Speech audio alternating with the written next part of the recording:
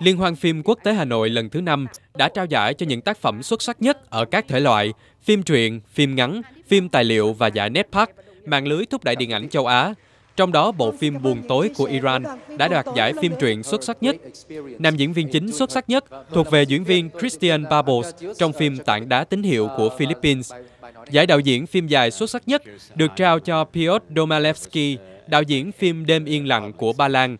Điện ảnh Việt Nam đã giành giải thưởng nữ diễn viên chính xuất sắc cho Phương Anh Đào trong phim Nhắm mắt thấy mùa hè, giải đạo diễn trẻ phim ngắn xuất sắc cho Nguyễn Lê Hoàng Việt, phim Bạn cùng phòng,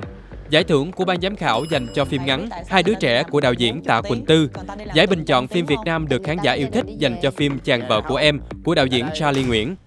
Trong những ngày diễn ra liên hoan phim, công chúng đã có cơ hội được xem 147 bộ phim của 45 quốc gia và vùng lãnh thổ, với 201 buổi chiếu phim tại rạp, trong đó có 48 buổi chiếu có nghệ sĩ các đoàn làm phim ra mắt, giao lưu trực tiếp với khán giả trước giờ chiếu. Hơn 1.200 đại biểu và khách mời, cũng như các nghệ sĩ điện ảnh có tác phẩm tham dự liên hoan phim, các nhà sản xuất phim, những người hoạt động điện ảnh tên tuổi trên thế giới và Việt Nam đã đến với Hà Nội trong 5 ngày diễn ra liên hoan phim vừa qua.